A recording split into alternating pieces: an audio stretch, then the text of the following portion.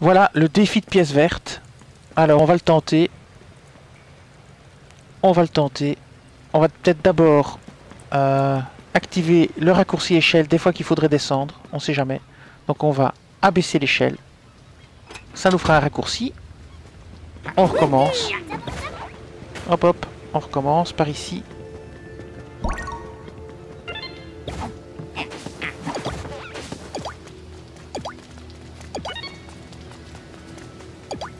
Là-bas. Ici. Et là-bas. Et c'est bon. C'est gagné. On a un coffre. On vient faire le défi des pièces vertes. Pièces planétaires reçues. Et on ouvre.